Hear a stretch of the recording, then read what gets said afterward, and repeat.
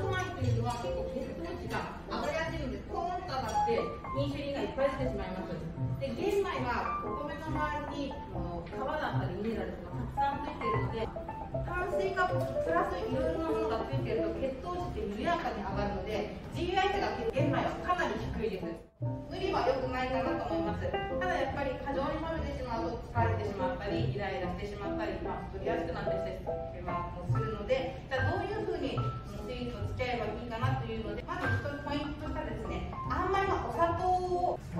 使い。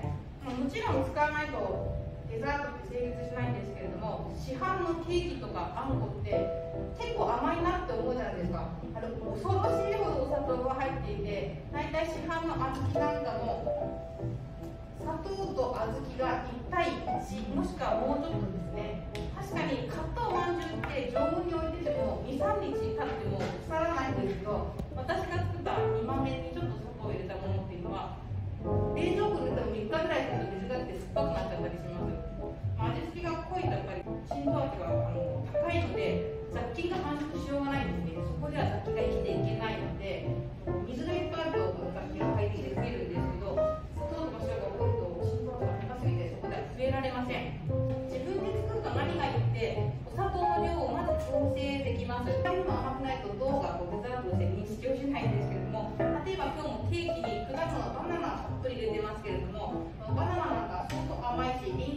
甘いのでリンゴをでもちょっと焼いてケーキに混ぜ込んだりするだけでもすごく甘みが増します。なので果物をよく使ったりあとドライフルーツですね。ドライフルーツの甘さを使ったりします。ただドライフルーツ実は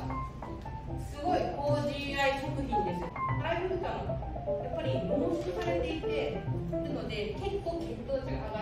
がりっているのでやっぱりそれは当然その量とと上がると思います。なのでほどほどの量っていうのが大事ですがやっぱりドライフルーツは甘さとしてよく使っていて、まあ、そういう自然な甘さを足します。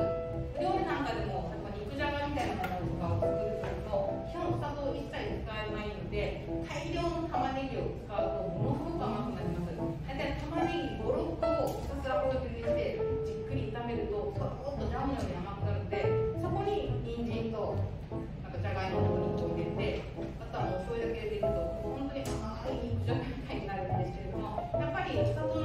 使って玉ねぎの甘さをオリゴ糖を中心にして血糖値緩やかに上がるのでお料理なんかにもお野菜をじっくり炒めて甘さを使ったりしています。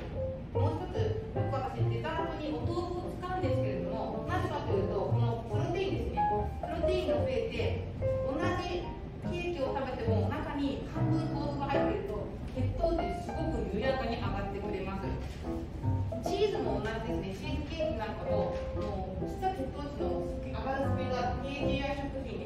ですけれどもチーズ自体が血糖値ほとんど上がらないのでチーズをケーキに使うと血糖値が緩やかに上がります。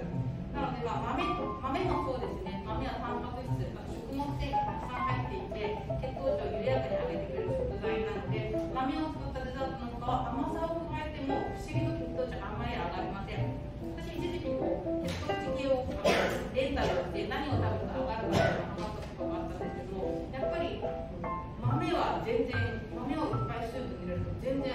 かったのでやっぱり食物繊維がいいのかなと思いますけれども豆を使うことであのすごい血糖値緩やかに上がります。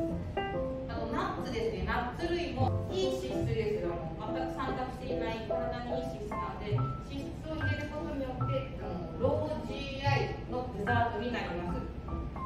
でこういった食材をデザートに必ず使うようにしています。